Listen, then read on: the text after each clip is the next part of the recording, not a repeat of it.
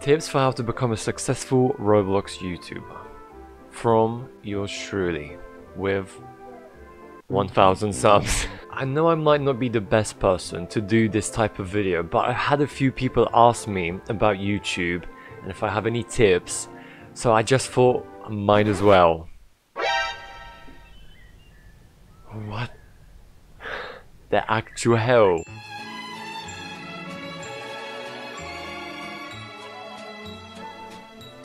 Okay, so we're back and I'm recording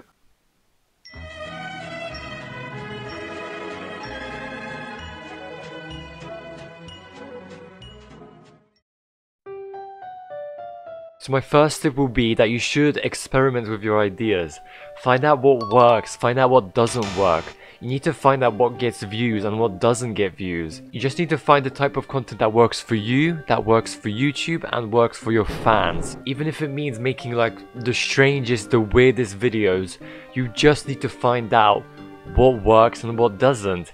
I think a good sign of that for me is my horrendous furry video where I turned myself into a furry and I thought that might have gotten views and that people might have found it funny Clearly not. But now I know that I shouldn't make videos like that. and in general, through experimenting, I found out that scripted videos don't really work well for me and for my fans. I found out that Let's Play videos don't really do well either. Edited Roblox group videos just work the best for me. And you just need to find out what works best for you. You just need to find your type of content that gets you views. Tip number two is to get right into the action. Don't stall, get right into the video. Once you do more videos, you'll realize that people click away really fast. You'll probably even notice it with yourself when you're on YouTube that a lot of the times you probably like click on a video you realize it's not really what you expected or what you really like and you click away. That's why it's so important to get right into the action, so that you can hook the viewer so that they stay and watch till the end of the video, so that they could possibly become a fan who even watches more of your videos, who maybe even subscribes. That's why it's so important not to stall, just get right into the video. For me, for example, I do little sneak peeks of like the best moments, so just get people interested so that they don't click away. Keeping viewers interested is something really important and you understand more of it once you start making more videos, trust me. Tip number three is to edit your videos. I don't know how, some people just don't do this when they start off. Edit your videos, cut out the boring bits, add a few meme edits.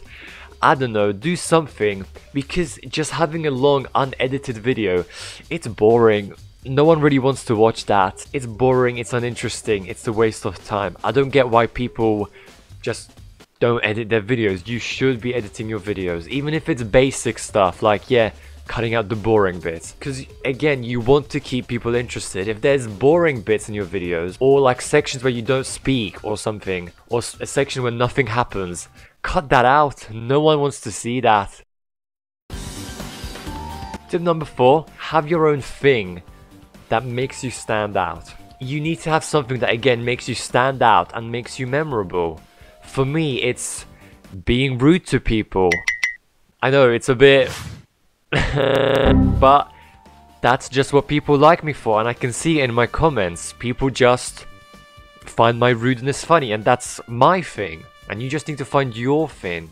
If you don't stand out as a person, then why should people watch you? If you're making maybe for example gameplay videos, then why should people watch you instead of some other YouTuber? That's why it's so important to have your own thing, to just stand out. You need to keep in mind, why should people watch my videos? That's the question you should always be asking yourself. Why should people be watching my videos? If you can't answer that question, you might be doing something wrong. You need to remember that there's so many other people trying to do the same exact thing as you are become famous on YouTube. If your videos are super generic with no personality in them, why should people watch you?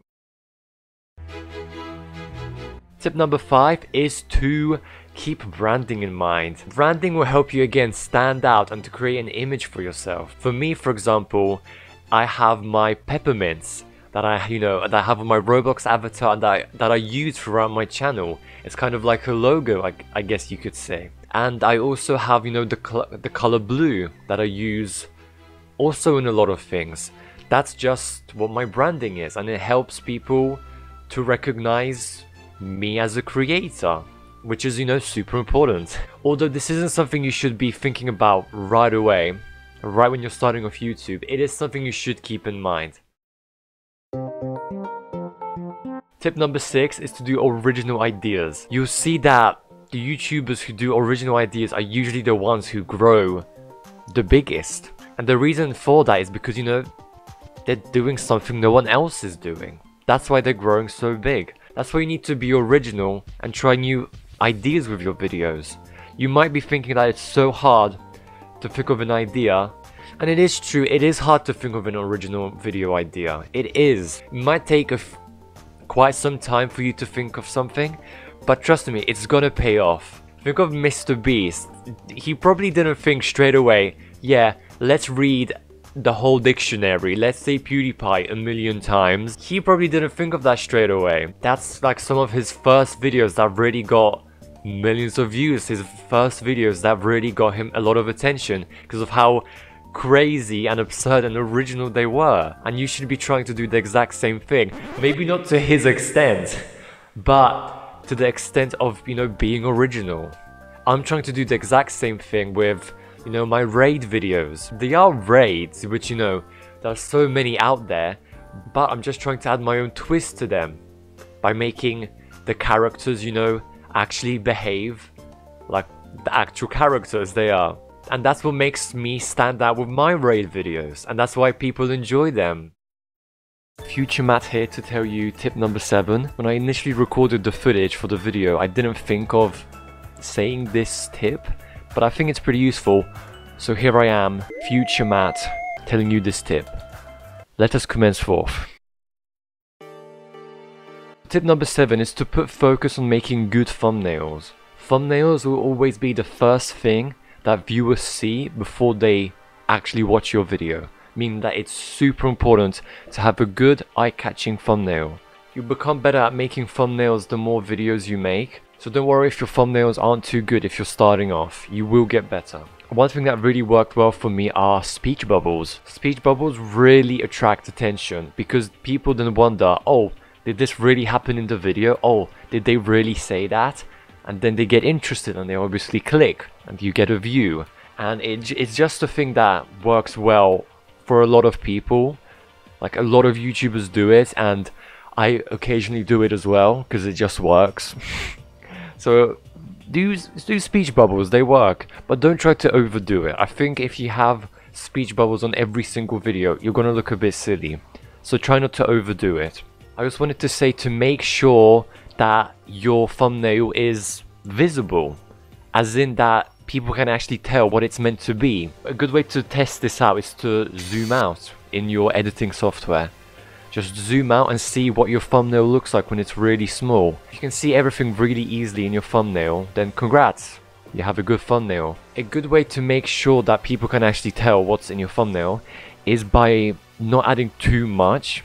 Add like a few Roblox characters and make them really big and that's that. Maybe add like an outline, maybe increase the contrast, the sharpness, maybe make the background darker just to make the Roblox characters stand out so that people can actually see that they're Roblox characters. People just need to know that, you know, your video is a Roblox video. And that's and the Roblox characters, they help viewers to notice that. That's why they're so important. So again, just experiment, find what works best for thumbnails, and you'll find a format that will work for you.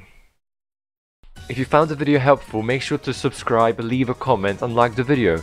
I would also like to thank my members for being members. thank you so much Yaroslavic, Denzinen, KikoCraftak233 and JZVol1. Thank you guys so much for your support. If you would like to be a member so that you can also have a shout out, check out that join button. Oh, isn't it nice? And also join the Discord server and join the Roblox group. And buy the Roblox merch. Yes, you should check all of that out in the description. Okay, peace out.